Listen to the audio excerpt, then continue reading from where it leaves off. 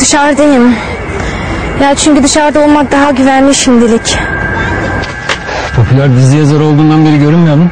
Haftalık dizi yazıyoruz be baba. Kolay mı sandın? Seni de göreceğiz bakalım. Amca ya. Yürü dönelim istersen. Böyle boş boş aramayla bulamayacağız biz bu kızı. Tövbe de abi. İşim olmaz valla. Kontrol et istiyorsan. Bu ne? Ha?